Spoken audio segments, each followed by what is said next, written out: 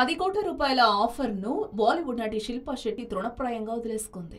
విషయం తెలిసిన ఆమె అభిమానులు సభాష్ అంటూ ప్రశంసిస్తున్నారు. ఇటీవల ఓ ఆయుర్వేద సంస్థ శిల్పా శెట్టిని సంప్రదించింది. తాము ఉత్పత్తి చేసే స్లిమ్మింగ్ పిల్కు ప్రచారకర్తగా ఉండాలని కోరింది. ఇందుకు సంబంధించిన ప్రకటనలో నటించాలంటూ పది కోట్ల రూపాయలను ఆఫర్ చేసింది.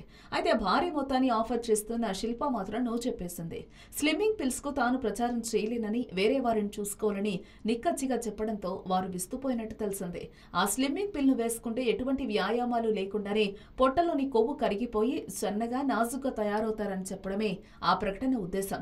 ఆఫర్ను వదులుకోవడంపై శిల్ప మాట్లాడుతూ తనకు నమ్మకం లేని దాని గురించి తాను ప్రచారం చేయలేనని పేర్కొంది.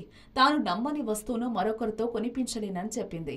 ఆ పిల్లు వేసుకుంటే తక్షణం ఫలితం కనిపిస్తుందని చెప్పడం ద్వారా ఆకర్షించొచ్చు. కానీ నిత్య జీవితంలో ఆహార హక్కుకు కట్టుబడి ఉండడం కూడా గర్వకారణమే.